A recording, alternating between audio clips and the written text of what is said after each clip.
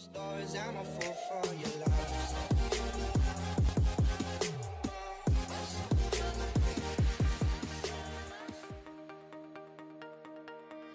Firstly, remove the engine cover. This is simply lifted off the engine.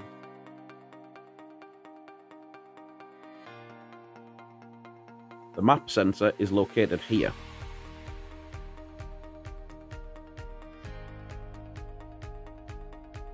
Boost sensor is located here.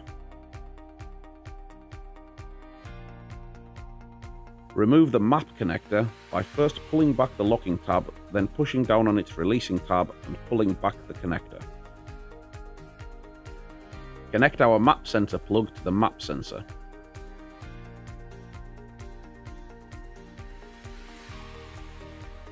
Connect the factory map connector to the corresponding plug on the supplied wiring loom.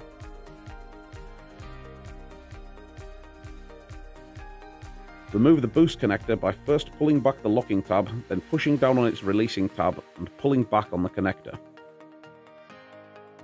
Connect our boost harness plug to the boost sensor.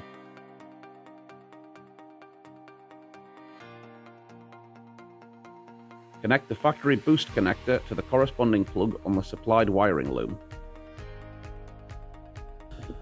The best place to mount the unit is in the scuttle tray towards the right hand side as you look at it.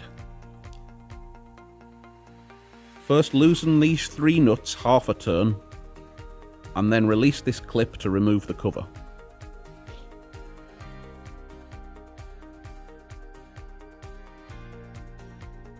Route the unit and harness away from direct heat and moving parts. Secure the unit and tidy the wiring loom with the cable ties provided.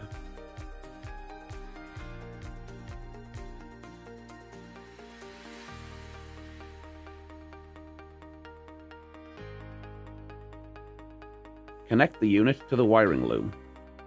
Start the engine and ensure the LEDs illuminate in accordance with the supplied instructions.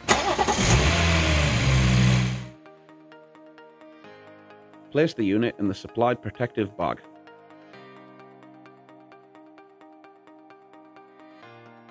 Secure the unit and tidy the wiring harness with the cable ties provided.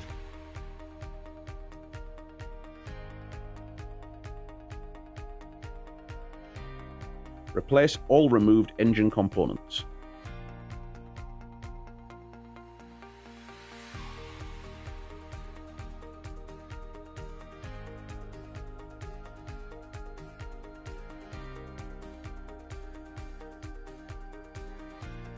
Replace the engine cover by pushing it back into place.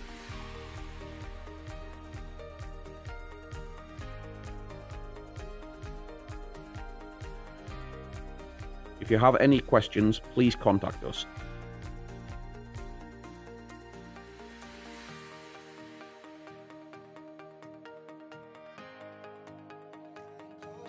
I'm a fool for your love.